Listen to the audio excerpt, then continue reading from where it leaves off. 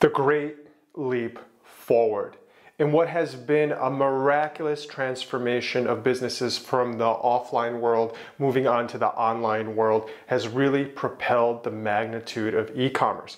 A recent report compiled by McKinsey that studied data from the US government, Bank of America, and other institutions compiled and said that in three months time, the e-commerce space has experienced 10 years of growth. This type of growth goes without measure.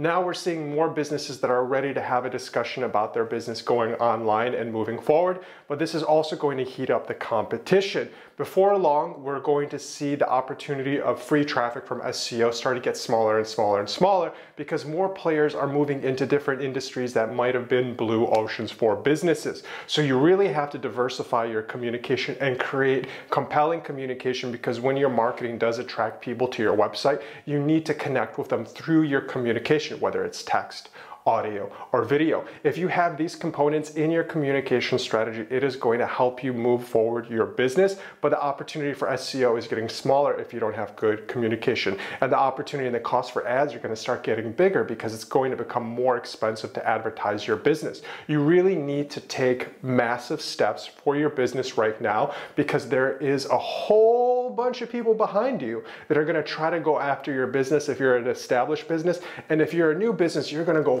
forward and go after for that big prize in the sky. And digital is going to be a very competitive space. And this is a time where people are going to take off their gloves and they're going to go bare knuckle on it so they can get to the top. This is a winner takes all game, especially when you look at the top three search positions on Google. So you have to be very aggressive in your strategy to grow and penetrate your communication. Without your communication, your brand is going to flounder. Without text, your communication is going to flounder. Without mechanisms and systems in place for Google spiders and Google Ads algorithms to figure out your website and help you deploy the marketing and advertising strategies you need to succeed on Google, you are going to flounder. All of these pieces are at play now. We've had years to figure it all out. And if you haven't figured it all out, now's the time to start. If you delay on building a website, improving your communication, or picking a marketing strategy and double downing on that based off of the results, your business is going to get crushed and steamrolled by the competition that's coming.